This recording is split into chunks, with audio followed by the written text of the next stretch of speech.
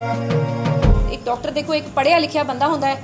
ਉਹਨੂੰ ਕੋਈ ਵੀ ਆ ਕੇ ਇਦਾਂ ਕਹਿ ਦੇ, ਜਲੀਲ ਕਰਦੇ ਜਾਂ ਕਹਿ ਕਿ ਮੈਂ ਤੁਹਾਨੂੰ ਉੱਥੇ ਕਰ ਦਾਂਗਾ ਟ੍ਰਾਂਸਫਰ ਕਰਾ ਦਾਂਗਾ, ਉਹ ਕਰ ਦਾਂਗਾ। ਹਸਪਤਾਲਾਂ ਦੀਆਂ, ਸਕੂਲਾਂ ਦੀਆਂ ਵੀਡੀਓਜ਼ ਦੇਖੀਆਂ। ਉਹ ਸਾਰੇ ਵੀਡੀਓਜ਼ ਵਿੱਚ ਕਈ ਪੇਸ਼ੈਂਟਾਂ ਨੂੰ ਜਿੱਦਾਂ ਮਤਲਬ ਕਈ ਡਾਕਟਰਾਂ ਨੂੰ ਬਹੁਤ ਬੋਲਿਆ ਗਿਆ, ਬਹੁਤ ਮਾੜਾ ਵੀ ਬੋਲਿਆ ਗਿਆ ਕਿ ਤੁਹਾਨੂੰ ਉੱਥੇ ਸੁੱਟ ਦਾਂਗੇ, ਤੁਹਾਡੀ ਟ੍ਰਾਂਸਫਰ ਉੱਥੇ ਕਰਾ ਦਾਂਗੇ। ਫਿਰ ਮਨ ਚ, ਮੈਂ ਵੈਸੇ ਵੀ ਫੀਮੇਲ ਆ ਮੈਂ ਮੇਰੇ ਤੋਂ ਇੰਨਾ ਪ੍ਰੈਸ਼ਰ ਨਹੀਂ ਲਿੱਤਾ ਜਾਣਾ ਸੀ ਕਿ ਕੱਲ ਨੂੰ ਮੈਨੂੰ ਕੋਈ ਕਹਿ ਦਿੰਦਾ। ਕਿ ਤੁਹਾਡੀ ਹੈ ਜਦ ਕਿ ਆਪਣੀ ਤਰਫੋਂ ਆਪਾਂ ਪੂਰੀ ਕੋਸ਼ਿਸ਼ ਕੀਤੀ ਹੈ।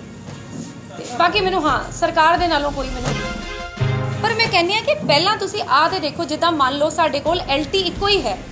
ਇੱਕ ਐਲਟੀ ਹੋਵੇ ਤੇ ਉਹਦੀ ਡਿਊਟੀ 11 12 ਵਜੇ ਤੋਂ ਬਾਅਦ ਜਿੱਦਾਂ ਉਹਨਾਂ ਦੇ ਕੋਲ ਸੈਂਪਲ ਜ਼ਿਆਦਾ ਆ ਗਏ, ਉਹ ਫਿਰ ਉਹ ਨਾ ਲੈ ਪਾਣ ਅੱਗੇ। ਤੇ ਪਹਿਲਾਂ ਤੁਸੀਂ ਰਿਕਰੂਟ ਕਰੋ। ਜਿੱਦਾਂ ਹੁਣ ਸਾਡੇ ਕੋਲ ਡੀ ਮੈਡੀਸਨ ਡਾਕਟਰ ਕੋਈ ਨਹੀਂ ਹੈਗਾ। ਜਨ ਸਰਜਰੀ ਵਾਲਾ ਡਾਕਟਰ ਕੋਈ ਨਹੀਂ ਹੈਗਾ। ਸਪੈਸ਼ਲਿਸਟ ਡਾਕਟਰ ਮੈਂ ਉੱਥੇ ਇਕੱਲੀ ਹੀ ਸੀਗੀ। ਉਹਦੇ ਵਿੱਚ ਕਈ ਵਾਰ ਮਰੀਜ਼ਾਂ ਨੂੰ ਸਿਰਫ ਗਾਇਨੀ ਦੀ ਪ੍ਰੋਬਲਮ ਨਹੀਂ ਹੁੰਦੀ, ਉਹਦੇ ਨਾਲ ਨਾਲ ਮੈਡੀਸਿਨ ਦੀ ਵੀ ਪ੍ਰੋਬਲਮ ਹੁੰਦੀ ਹੈ, ਜਿਹੜਾ ਫਿਜ਼ੀਸ਼ੀਅਨ ਨੂੰ ਵੀ ਦਿਖਾਣਾ ਪੈਂਦਾ ਹੈ। ਆ ਚੀਜ਼ਾਂ ਹੁੰਦੀਆਂ ਨੇ।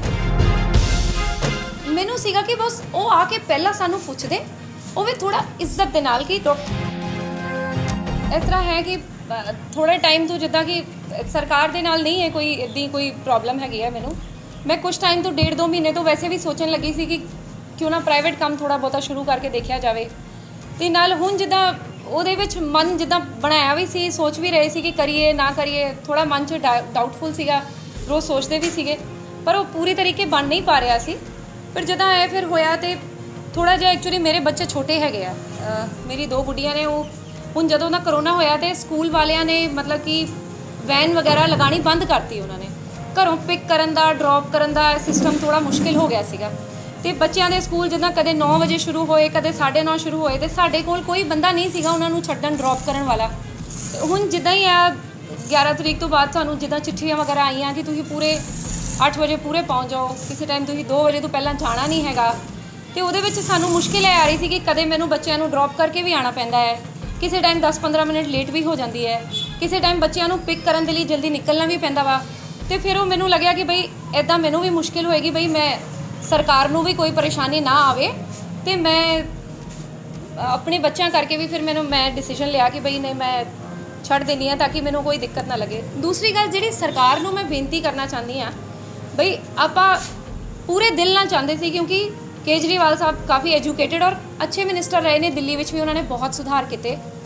ਆਪਾਂ ਸਾਰੇ ਉਹਨਾਂ ਦੇ ਨਾਲ ਹੀ ਹੈਗੇ ਆ ਬਟ ਮੇਰੀ ਸਿਰਫ ਇਹ ਬੇਨਤੀ ਸੀਗੀ ਉਹਨਾਂ ਨੂੰ ਕਿ ਜਿੱਦਾਂ ਉਹਨਾਂ ਨੇ ਆਉਂਦਿਆਂ ਸਾਰੀ ਜਿੱਦਾਂ ਇਹ ਚਿ, ਇਹ ਚਿੱਠੀਆਂ ਨਿਕਲੀਆਂ ਕਿ ਤੁਸੀਂ ਕੋਈ ਵੀ ਚੀਜ਼ ਬਾਹਰੋਂ ਲਿਖਣੀ ਨਹੀਂ, ਕੋਈ ਵੀ ਚੀਜ਼ ਬਾਹਰੋਂ ਨਹੀਂ ਕਰਨੀ ਪੇਸ਼ੈਂਟ ਨਾਲ, ਤਮੀਜ਼ ਨਾਲ ਗੱਲ ਕਰਨੀ ਹੈ, ਕਿਸੇ ਨੂੰ ਉੱਚਾ ਨਹੀਂ ਬੋਲਣਾ, ਕੋਈ ਚੀਜ਼ ਤੁਸੀਂ ਕਰ ਨਹੀਂ ਸਕਦੇ, ਤੁਸੀਂ ਪੇਸ਼ੈਂਟ ਰੈਫਰ ਨਹੀਂ ਕਰ ਸਕਦੇ। ਆਹ ਕਰਨ ਨਾਲੋਂ ਇੱਕ ਵਾਰ ਸਿਰਫ ਬੇਨਤੀ ਸੀਗੀ ਕਿ ਭਈ ਉਹਨਾਂ ਨੂੰ ਸਾਨੂੰ ਵੀ ਮਿਲਣਾ ਚਾਹੀਦਾ ਸੀ ਐਸ ਡਾਕਟਰਸ ਉਹ ਸਾਨੂੰ ਵੀ ਮਿਲਦੇ, ਜਿਹੜੇ ਸਿੱਧੇ ਜਾ ਜਾ ਕੇ ਪੇਸ਼ੈਂਟਾਂ ਨੂੰ ਕਹਿਣਾ ਕਿ ਨਹੀਂ, ਤੁਹਾਡੇ ਨਾਲ ਕੋਈ ਉੱਚੀ ਆਵਾਜ਼ 'ਚ ਗੱਲ ਕਰੇ, ਤੁਸੀਂ ਸਾਨੂੰ ਕੰਪਲੇਂਟ ਕਰੋ। ਤੁਸੀਂ ਕਦੇ ਕਿਸੇ ਨੇ ਸੁਣਿਆ ਨਹੀਂ ਹੋਏਗਾ ਕਿ ਇੱਕ ਡਾਕਟਰ ਨੇ ਇੱਕ ਪੇਸ਼ੈਂਟ ਨੂੰ ਮਾਰਿਆ। ਬਟ ਕਈ ਵਾਰ ਇਦਾਂ ਹੁੰਦਾ ਹੈ ਕਿਸੇ ਹਸਪਤਾਲ 'ਚ ਕਿ ਪੇਸ਼ੈਂਟ ਅਗਰ ਆਪਣੀ ਪ੍ਰੋਬਲਮ ਦੇ ਨਾਲ ਆਪ ਵੀ ਪੇਸ਼ੈਂਟ ਨੂੰ ਕੁਝ ਹੋ ਗਿਆ ਜਾਂ ਪੇਸ਼ੈਂਟ ਨੂੰ ਕੋਈ ਨੁਕਸਾਨ ਹੋ ਗਿਆ ਜਾਂ ਪੇਸ਼ੈਂਟ ਦੀ ਡੈਥ ਹੀ ਹੋ ਗਈ, ਡਾਕਟਰ ਤੇ ਆਪਣੇ ਵੱਲੋਂ ਚਾਹੁੰਦਾ ਹੀ ਹੈ ਕਿ ਉਹ ਉਹਨੂੰ ਬਚਾਏ। ਤੇ ਜੇਕਰ ਕੁਝ ਹੋ ਗਿਆ ਤੇ ਲੋਕੀ ਰੱਖ ਕੇ ਬਹਿ ਜਾਂਦੇ ਨੇ ਬਾਡੀ ਰੱਖ ਕੇ ਬਹਿ ਜਾਂਦੇ ਨੇ, ਪੈਸੇ ਦੀ ਵੀ ਡਿਮਾਂਡ ਕਰਦੇ ਨੇ, ਡਾਕਟਰਾਂ ਨੂੰ ਮਾਰਨ ਕੁੱਟਣ ਤੇ ਵੀ ਆਉਂਦੇ ਨੇ ਜਦ ਕਿ ਡਾਕਟਰ ਕਦੇ ਕਿਸੇ ਪੇਸ਼ੈਂਟ ਨੂੰ ਮਾਰਨ ਕੁੱਟਣ ਤੇ ਨਹੀਂ ਆਂਦਾ ਤੇ ਮੈਂ ਬਸ ਇਹ ਚਾਹੁੰਦੀ ਸੀ ਪਰਸਨਲੀ ਕਿ ਬਈ ਇੱਕ ਵਾਰ ਡਾਕਟਰਾਂ ਨੂੰ ਵੀ ਆ ਕੇ ਮਿਲਿਆ ਜਾਂਦਾ। ਡਾਕਟਰ ਹੋ ਗਏ ਸਕੂਲ ਟੀਚਰ ਹੋ ਗਏ ਜਾਂ ਆਪਣੇ ਕੋਈ ਵੀ ਸਰਕਾਰੀ ਮੁਲਾਜ਼ਮ ਹੋ ਗਏ, ਉਹਨਾਂ ਨੂੰ ਇਹ ਗੱਲ ਪੁੱਛੀ ਜਾਂਦੀ ਕਿ ਤੁਹਾਨੂੰ ਕੀ ਕਮੀਆਂ ਨੇ? ਤੁਹਾਨੂੰ ਕੀ ਨਹੀਂ ਹੈਗਾ? ਕਿਹੜੀ ਦਵਾਈਆਂ ਤੁਹਾਡੇ ਕੋਲ ਅੰਦਰ ਨਹੀਂ ਹੈਗੀਆਂ? ਕਿਹੜੀ ਤੁਹਾਡੇ ਕੋਲ ਅੰਦਰ ਪ੍ਰੋਬਲਮ ਆ ਰਹੀ ਹੈ? ਤੁਹਾਡੇ ਕੋਲ ਐਨੈਸਥੀਸੀਆ ਦੀ ਜਿੱਦਾਂ ਸਾਡੇ ਕੋਲ ਐਨੈਸਥੈਟਿਸ ਨਹੀਂ ਹੈਗਾ। ਹੈ ਨਾ? ਉਹ ਬਲੱਡ ਬੈਂਕ ਸਾਡੇ ਕੋਲ ਅੰਦਰ ਨਹੀਂ ਹੈਗਾ। ਬਹੁਤ ਸਾਰੀ ਚੀਜ਼ਾਂ ਦੀ ਸਾਨੂੰ ਪਰੇਸ਼ਾਨੀ ਆਂਦੀ ਹੈ। ਮੈਨੂੰ ਸਿਰਫ ਐ ਸੀਗਾ ਕਿ ਉਹ ਸਾਨੂੰ ਵੀ ਇੱਕ ਵਾਰ ਆ ਕੇ ਪੁੱਛਣ ਕਿ ਬਈ ਤੁਹਾਨੂੰ ਕੀ ਪਰੇਸ਼ਾਨੀ ਹੈ? ਮਤਲਬ ਤੁਹਾਡੇ ਕੋਲ ਕਿਹੜੀ ਦਵਾਈ ਨਹੀਂ ਹੈ? ਕਿਹੜਾ ਟੈਸਟ ਤੁਹਾਡੇ ਕੋਲ ਅੰਦਰ ਨਹੀਂ ਹੁੰਦਾ? ਕਿਹੜੀ ਤੁਹਾਨੂੰ ਐਨੈਸਥੀਸੀਆ ਦੀ ਦਿੱਕਤ ਹੈ ਜਾਂ ਵਾਰਡ ਦੇ ਵਿੱਚ ਕੋਈ ਦਿੱਕਤ ਹੈ ਜਾਂ ਬਲੱਡ ਬੈਂਕ ਨਹੀਂ ਹੈਗਾ? ਤੇ ਆਪਾਂ ਉਹ ਚੀਜ਼ ਪ੍ਰੋਵਾਈਡ ਕਰੀਏ।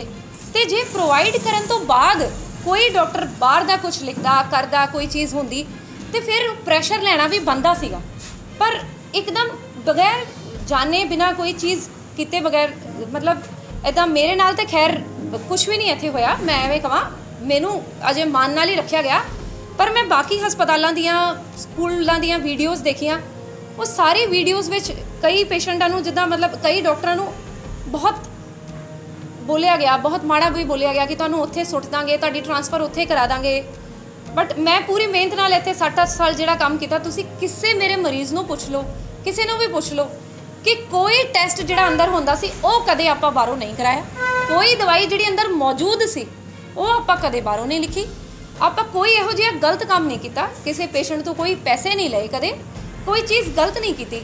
ਸਾਨੂੰ ਸਿਰਫ ਇਹ ਸੀਗਾ ਕਿ ਸਾਨੂੰ ਵੀ ਪੁੱਛਿਆ ਜਾਂਦਾ ਕਿ ਸਾਡੇ ਵਿੱਚ ਸਿਸਟਮ 'ਚ ਕੀ ਕਮੀਆਂ ਨੇ, ਉਹ ਪੂਰੀ ਕਰਕੇ ਫਿਰ ਇੱਕ ਵਾਰ ਬਾਕੀਆਂ ਨੂੰ ਕੀਤਾ ਜਾਂਦਾ।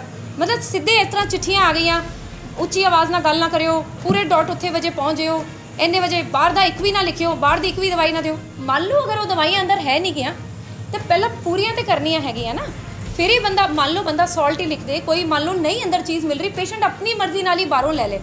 ਫਿਰ ਇਦਾਂ ਦੇ ਵੀਡੀਓਜ਼ ਆਏ ਮੇਰੇ ਫੋਨ ਤੇ, ਕਈਆਂ ਡਾਕਟਰਾਂ ਦੇ ਨਾਲ, ਉਹਨਾਂ ਦੇ ਨਾਲ, ਜਿੱਦਾਂ ਸਕੂਲ ਦੀਆਂ ਟੀਚਰਾਂ ਹੋ ਗਈਆਂ, ਪੁਲਿਸ ਮੁਲਾਜ਼ਮਾਂ ਦੇ ਨਾਲ ਕਿ, ਉਹ ਵੀਡੀਓ ਦੇਖ ਕੇ ਹੀ ਮੈਂ ਡਰ ਗਈ। ਮੇਰੇ ਨਾਲ ਕਿਸੇ ਨੇ ਕੁਝ ਵੀ ਮਾੜਾ ਨਹੀਂ ਕੀਤਾ, ਮੇਰੇ ਨਾਲ ਪਿਆਰ ਨਾਲ ਹੀ ਬੋਲੇ, ਪਰ ਉਹ ਵੀਡੀਓ ਦੇਖ ਕੇ ਮੈਨੂੰ ਪਰਸਨਲੀ ਕਾਫੀ ਡਰ ਲੱਗਿਆ ਕਿ ਬਈ ਕੱਲ ਨੂੰ ਇਹੋ ਜਿਹੀ ਕੋਈ ਚੀਜ਼ ਮੇਰੇ ਅਗੇਂਸਟ ਹੋ ਜਾਏ, ਕੋਈ ਚੀਜ਼ ਅੰਦਰ ਨਾ ਹੋਵੇ ਔਰ ਮੈਂ ਕਰਵਾ ਦਾਂ ਔਰ ਹੋ ਜਾਏ, ਉਸ ਤੋਂ ਬਾਅਦ ਕੋਈ ਮੈਨੂੰ ਦਿੱਕਤ ਆ ਜਾਏ, ਮੇਰੇ ਅਗੇਂਸਟ ਕੋਈ ਕਹਿ ਦੇ ਆ ਕੇ ਕੋਈ ਪਰੇਸ਼ਾਨੀ ਆ ਜਾਏ, ਫਿਰ ਮੈਨੂੰ ਲੱਗਿਆ ਕਿ ਇੱਕ ਤੇ ਥੋੜੇ ਛੋਟੇ ਬੱਚੇ ਵੀ ਨੇ ਮੇਰੇ, ਕਦੇ ਕਦੇ ਮੈਂ ਲੇਟ ਵੀ ਹੋ ਜਾਂਦੀ ਆ ਤੇ ਫਿਰ ਮੈਨੂੰ ਹੁੰਦਾ ਕਿ ਬਈ ਠੀਕ ਹੈ, ਫਿਰ ਮਨ ਤੇ ਬਣਾਇਆ ਸੀ ਤੇ ਫਿਰ ਮੈਂ ਕਿਹਾ ਚਲੋ, ਬਾਕੀ ਮੇਰੀ ਸਰਕਾਰ ਦੇ ਨਾਲ ਕੋਈ ਉਹਨੂੰ, ਮੈਨੂੰ ਕੋਈ ਉਹ ਨਹੀਂ ਹੈਗੀ ਹੈ, ਮੈਨੂੰ ਕਿਸੇ ਨੇ ਕੋਈ ਪਰੇਸ਼ਾਨੀ ਨਹੀਂ ਦਿੱਤੀ। ਨਹੀਂ, ਮੈਂ ਉਹਦੇ ਨਾਲ ਪੂਰੀ ਤਰੀਕੇ ਸਹਿਮਤ ਹਾਂ। ਇਹ ਮੈਂ ਬਿਲਕੁਲ ਕਹਿੰਦੀ ਆ ਕਿ ਹਾਂਜੀ ਟਾਈਮ ਨਾਲ ਮੁਲਾਜ਼ਮਾਂ ਦਾ ਆਣਾ ਔਰ ਜਾਣਾ ਬਣਦਾ ਵਾ, ਜ਼ਰੂਰ। ਆ ਵੀ ਮੈਂ ਕਹਿੰਦੀ ਆ ਕਿ ਹਾਂ, ਅਗਰ ਦਵਾਈਆਂ ਅੰਦਰ ਹੈਗੀਆਂ ਤੇ ਉਹ ਬਾਹਰੋਂ ਲਿਖਣੀਆਂ ਵੀ ਨਹੀਂ ਬਣਦੀਆਂ। ਮੈਂ ਕਹਿੰਦੀ ਆ ਕਿ ਕਿਸੇ ਪੇਸ਼ੈਂਟ ਤੋਂ ਕੋਈ ਵੀ ਤਰੀਕੇ ਦੀ ਰਿਸ਼ਵਤ ਜਾਂ ਪੈਸਾ ਲੈਣਾ ਬਿਲਕੁਲ ਨਹੀਂ ਬਣਦਾ। ਮੈਂ ਕਹਿੰਦੀ ਆ ਕਿ ਹਸਪਤਾਲ ਦੀ ਸਾਫ਼ ਸਫ਼ਾਈ ਰੱਖਣੀ ਵੀ ਬਣਦੀ ਹੈ। ਮੈਂ ਇਹ ਵੀ ਕਹਿੰਦੀ ਆ ਕਿ ਬਈ ਤੁਸੀਂ ਸਾਰਾ ਕੁਝ ਅੰਦਰੋਂ ਜਿਹੜੇ ਚੀਜ਼ ਅਵੇਲੇਬਲ ਹੈ, ਮੰਨ ਲਓ ਜਿਹੜੇ ਟੈਸਟ ਅੰਦਰ ਨੇ, ਉਹ ਬਾਹਰੋਂ ਕਰਾਣੇ ਵੀ ਨਹੀਂ ਬਣਦੇ। ਆ ਮੈਂ ਸਹਿਮਤ ਹੈਗੀ ਆ ਪਰ ਮੈਂ ਕਹਿੰਦੀ ਆ ਕਿ ਪਹਿਲਾਂ ਤੁਸੀਂ ਆਹ ਤੇ ਦੇਖੋ, ਜਿੱਦਾਂ ਮੰਨ ਲਓ ਸਾਡੇ ਕੋਲ ਐਲਟੀ ਇੱਕੋ ਹੀ ਹੈ। ਇੱਕ ਐਲਟੀ ਹੋਵੇ ਤੇ ਉਹਦੀ ਡਿਊਟੀ 11 12 ਵਜੇ ਤੋਂ ਬਾਅਦ ਜਿੱਦਾਂ ਉਹਨਾਂ ਦੇ ਕੋਲ ਸੈਂਪਲ ਜ਼ਿਆਦਾ ਆ ਗਏ, ਉਹ ਫਿਰ ਉਹ ਨਾ ਲੈ ਪਾਣ ਅੱਗੇ। ਤੇ ਪਹਿਲਾਂ ਤੁਸੀਂ ਰਿਕਰੂਟ ਕਰੋ। ਜਿੱਦਾਂ ਹੁਣ ਸਾਡੇ ਕੋਲ ਐਮਡੀ ਮੈਡੀਸਿਨ ਡਾਕਟਰ ਕੋਈ ਨਹੀਂ ਹੈਗਾ। ਜਨ ਸਰਜਰੀ ਵਾਲਾ ਡਾਕਟਰ ਕੋਈ ਨਹੀਂ ਹੈਗਾ। ਸਪੈਸ਼ਲਿਸਟ ਡਾਕਟਰ ਮੈਂ ਉੱਥੇ ਕੱਲੀ ਹੀ ਸੀਗੀ। ਉਹਦੇ ਵਿੱਚ ਕਈ ਵਾਰ ਮਰੀਜ਼ਾਂ ਨੂੰ ਸਿਰਫ ਗਾਇਨੀ ਦੀ ਪ੍ਰੋਬਲਮ ਨਹੀਂ ਹੁੰਦੀ, ਉਹਦੇ ਨਾਲ ਨਾਲ ਮੈਡੀਸਿਨ ਦੀ ਵੀ ਪ੍ਰੋਬਲਮ ਹੁੰਦੀ ਹੈ, ਜਿਹੜਾ ਫਿਜ਼ੀਸ਼ੀਅਨ ਨੂੰ ਵੀ ਦਿਖਾਣਾ ਪੈਂਦਾ ਹੈ। ਆ ਚੀਜ਼ਾਂ ਹੁੰਦੀਆਂ ਨੇ। ਪਰ ਸਾਡੇ ਕੋਲ ਕਮੀਆਂ ਵੀ ਸੀਗੀਆਂ। ਮੈਨੂੰ ਸੀਗਾ ਕਿ ਬਸ ਉਹ ਆ ਕੇ ਪਹਿਲਾਂ ਸਾਨੂੰ ਪੁੱਛਦੇ। ਉਹ ਵੀ ਥੋੜਾ ਇੱਜ਼ਤ ਦੇ ਨਾਲ ਕਿ ਡਾਕ- ਇੱਕ ਡਾਕਟਰ ਦੇਖੋ, ਇੱਕ ਪੜ੍ਹਿਆ ਲਿਖਿਆ ਬੰਦਾ ਹੁੰਦਾ ਹੈ। ਉਹਨੂੰ ਕੋਈ ਵੀ ਆ ਕੇ ਇਦਾਂ ਕਹਿ ਦੇ, ਜਲੀਲ ਕਰਦੇ ਜਾਂ ਕਹਿ ਦੇ ਕਿ ਮੈਂ ਤੁਹਾਨੂੰ ਉੱਥੇ ਕਰ ਦਾਂਗਾ ਟ੍ਰਾਂਸਫਰ ਕਰਾ ਦਾਂਗਾ, ਉਹ ਕਰ ਦਾਂ। ਫਿਰ ਮਨ 'ਚ, ਮੈਂ ਵੈਸੇ ਵੀ ਫੀਮੇਲ ਆ, ਮੈਂ ਮੇਰੇ ਤੋਂ ਇੰਨਾ ਪ੍ਰੈਸ਼ਰ ਨਹੀਂ ਲਿੱਤਾ ਜਾਣਾ ਸੀ ਕਿ ਕੱਲ ਨੂੰ ਮੈਨੂੰ ਕੋਈ ਕਹਿ ਦਿੰਦਾ ਕਿ ਤੁਹਾਡੀ ਹੈ ਜਦ ਕਿ ਆਪਣੀ ਤਰਫੋਂ ਆਪਾਂ ਪੂਰੀ ਕੋਸ਼ਿਸ਼ ਕੀਤੀ ਹੈ। ਤੇ ਬਾਕੀ ਮੈਨੂੰ, ਹਾਂ, ਸਰਕਾਰ ਦੇ ਨਾਲੋਂ ਕੋਈ ਮੈਨੂੰ